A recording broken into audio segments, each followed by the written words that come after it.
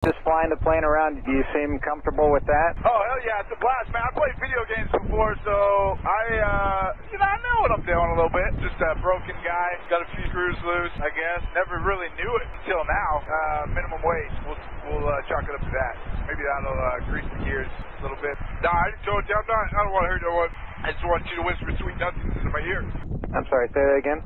Sorry, uh, my mic came off. I threw up a little bit. Hold on. Ah, shoot. Man, I'm sorry about this. I think I'm going to try to do a barrel roll. And if that goes good, then I'm just going to nose down and call it a night. Board to board, you have a flat right uh, rear tire. Delta 30 heavy, cancel takeoff clearance. Did you copy? Delta 30 heavy, cancel takeoff clearance. Delta 30 heavy.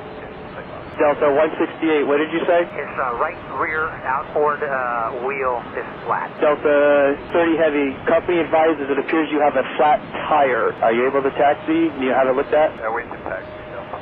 Delta 30 heavy, do you want to go back to the ramp to have it looked at? We're going to call ramp. Uh, yeah, we need to go back. Delta 30 heavy, do you require any assistance from us? Negative.